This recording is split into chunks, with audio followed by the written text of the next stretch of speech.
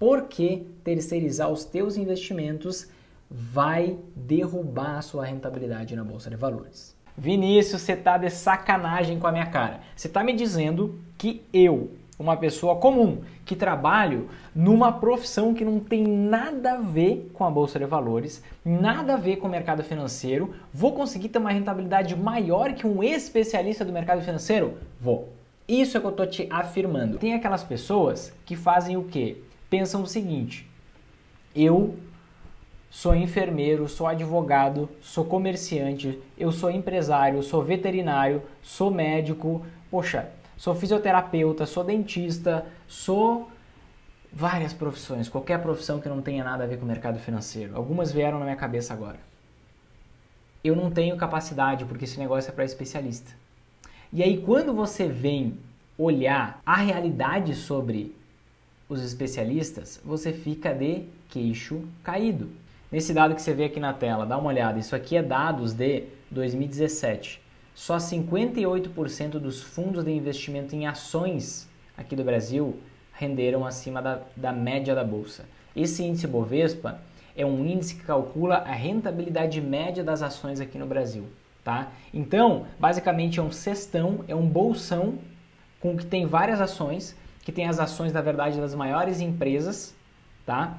E aí ele vê é, esse índice Bovespa para ver quanto na média está subindo o preço das ações brasileiras, tá?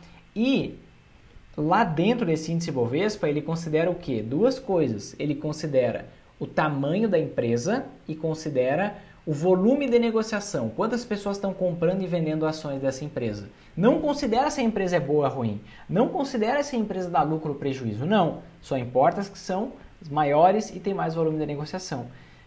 E dentro desse bolo, imagina que tem um saco e enfiaram um monte de coisa dentro ali, um monte de empresa. Pegaram as maiores, vem pra cá.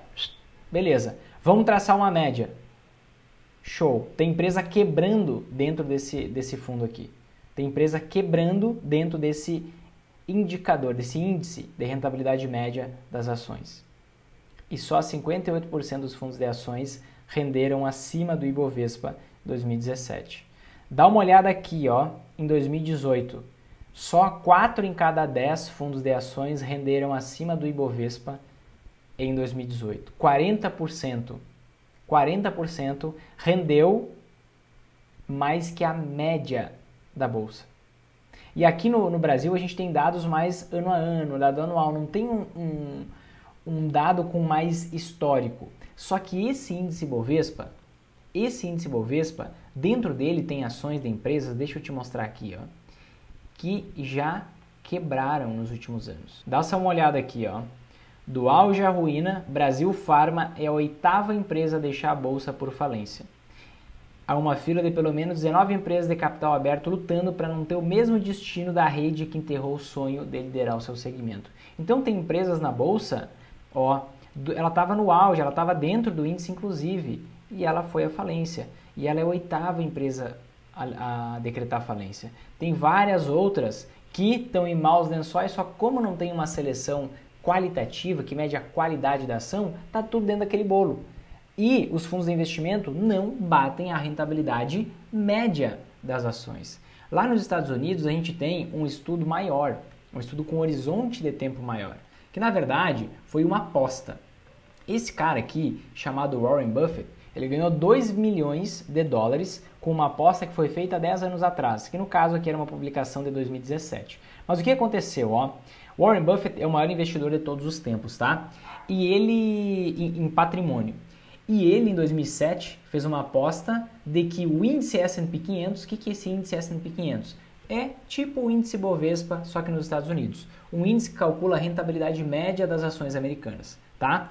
E ele falou, ó, eu vou apostar aqui na média esse as ações da bolsa na média vão subir mais do que os hedge funds, que são o, os fundos mais conhecidos lá fora, que são os fundos equiparados, não é exatamente igual, equiparados aos fundos multimercados aqui no Brasil. E ele apostou com um monte de gente, só que muita gente não queria apostar essa quantidade, essa cifra de dinheiro. E só teve um gestor que aceitou, o Ted Sides. Só que o que, que aconteceu? Olha só. Vamos ver o resultado dessa brincadeira aqui? Ó, somente o Ted Sides que aceitou fazer essa aposta com ele. Passados 10 anos da aposta, os cinco fundos Decides, ele selecionou uma carteira de fundos, ganharam apenas 2,2% ao ano desde 2008, em comparação com mais de 7% ao ano da rentabilidade média. Da rentabilidade média das ações. Percebe que não é só no Brasil? Percebe que não é só com a gente? Percebe que existe um padrão, seja aqui, seja nos Estados Unidos, seja em qualquer outro país? Existe um padrão que faz as pessoas conseguirem ter uma rentabilidade. Primeiro, existe o padrão que faz os fundos de ações, os hedge funds, terem uma rentabilidade menor que a média. E naturalmente, uma pessoa ela pode investir na média e ela pode ter uma rentabilidade da, é, coerente com a média.